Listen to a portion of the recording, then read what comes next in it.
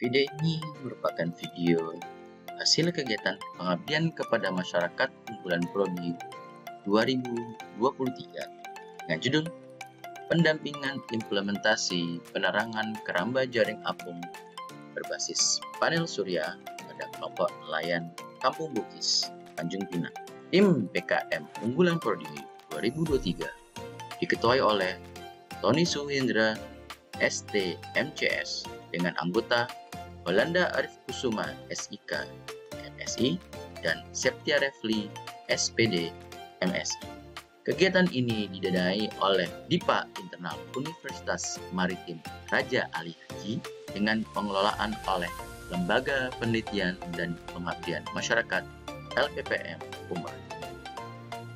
Yang melatar belakangi kegiatan PKM ini ialah visi Universitas Maritim Raja Ali Haji menjadi universitas terkemuka yang berbudaya dan berdaya saing di tingkat internasional pada tahun 2040.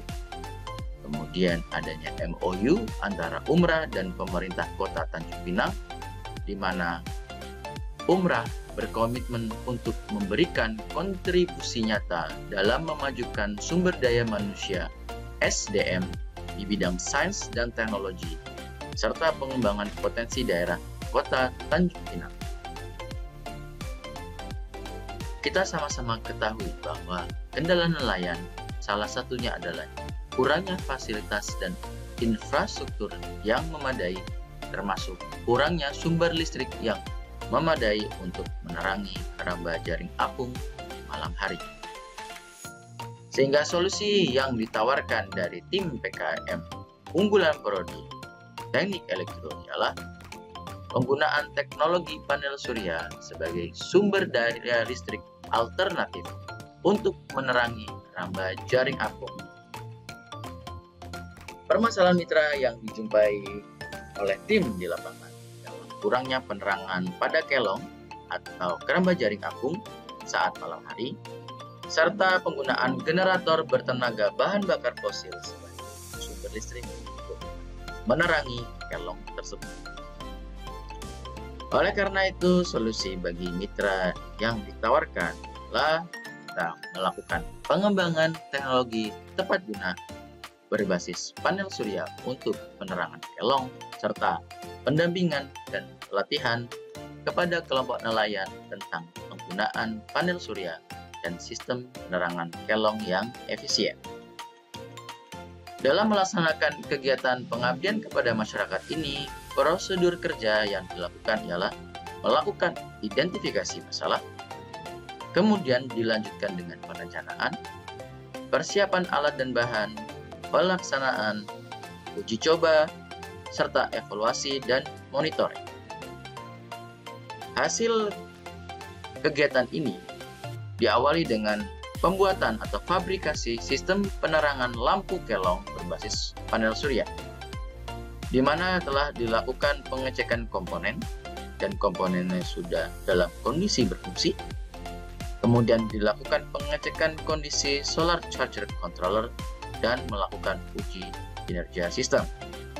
Pada bagian kiri atas adanya voltmeter memberikan indikator angka tegangan pada tegangan panel surya dan panel baterai sehingga mempermudah pengguna untuk mengetahui kondisi tegangan saat digunakan. Kemudian sistem ini dilengkapi dengan baterai 12 volt, kemudian ada SCC atau Solar Charger Controller. Pada gambar di bawah merupakan rangkaian dari sistem penerangan lampu kelong ini. Kemudian dilakukan instalasi di kelong nelayan, di mana di kelong ini dilakukan instalasi panel surya, instalasi kotak panel, instalasi baterai, instalasi lampu, serta dilakukan pengecekan tegangan.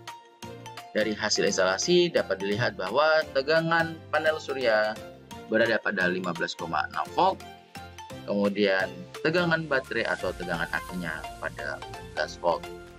Sistem penerangan lampu ini ditambahkan dengan fitur pengecasan handphone sehingga mempermudah pengguna untuk mengecas handphone pada malam hari. Dari kegiatan PKM ini ada beberapa manfaat yang diperoleh.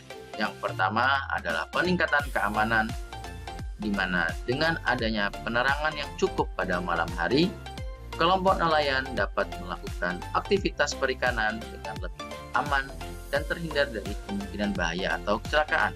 Kemudian produktivitas yang meningkat karena kegiatan perikanan dapat dilakukan secara lebih efisien bahkan di malam hari sehingga potensi hasil tangkapan meningkat dan pendapatan kelompok nelayan dapat meningkat. Dilanjutkan dengan penghematan energi dan biaya di mana penggunaan energi matahari sebagai sumber daya utama dalam sistem penerangan mengurangi ketergantungan pada sistem sumber energi konvensional. Hal ini membantu mengurangi biaya operasional dan memberikan keuntungan dalam jangka panjang. Ramah lingkungan di mana solusi ini sangat ramah lingkungan karena tidak menghasilkan emisi karbon atau polusi lainnya. Dengan memanfaatkan energi matahari sebagai sumber daya, penerangan ini membantu menjaga kelestarian lingkungan dan berkontribusi dalam upaya mitigasi perubahan. Kegiatan PKM unggulan prodi ini juga didukung dengan pembuatan buku digital atau e-book teknologi tepat guna dengan judul panduan instalasi dan perawatan lampu penerangan keramba jaring apung basis panel surya pada kelompok nelayan Kampung Bugis, Tanjung Pinang. Buku ini memandu pembaca melalui langkah-langkah penting dalam mengimplementasikan sistem penerangan berbasis panel surya yang efisien dan berkelanjutan di keramba jaring apung. Beberapa poin penting dalam buku ini ialah adanya pendahuluan yang komprehensif, teknologi panel surya, pemilihan dan penggunaan baterai, instalasi yang mudah dipahami, perawatan dan troubleshooting, manfaat dan dampak, serta tantangan dan peluang masa depan. Sehingga dengan panduan ini, nelayan dapat memanfaatkan sumber energi matahari untuk menjadikan keramba jaring apung mereka lebih terang, efisien, dan ramah lingkungan. Sebagai penutup, melalui kolaborasi, komitmen, dan upaya bersama dapat memberikan dampak positif yang signifikan pada komunitas lingkungan sekitar. Kegiatan ini telah memberikan penerangan berbasis panel surya yang lebih terjangkau dan berkelanjutan pada kelompok nelayan di Kampung Bugis. Selain itu, kegiatan ini telah membuka pintu untuk lebih banyak inovasi dan pengembangan di masa depan. Tantangan dan peluang di masa depan termasuk meningkatkan efisiensi energi, mengatasi perubahan iklim, dan menjalankan proyek serupa di komunitas lain. Demikian hasil kegiatan pengabdian kepada masyarakat unggulan Prodi tahun 2023. Terima kasih. Salam.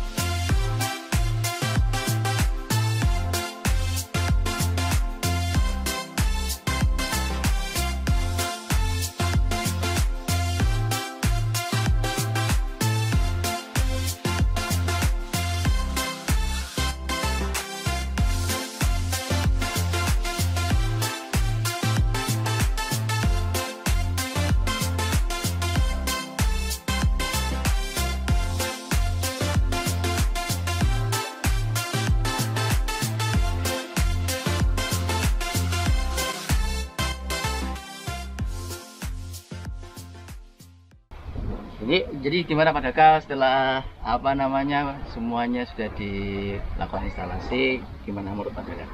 Ya kami berterima kasih banyak lah atas bantuannya. Eh, ya sama-sama Pak. Jadi apa namanya kalau kelong ini biasanya operasinya berapa lama Pak? Kalau dalam dalam satu bulan itu 20 hari lah. 20 hari ya? Ya.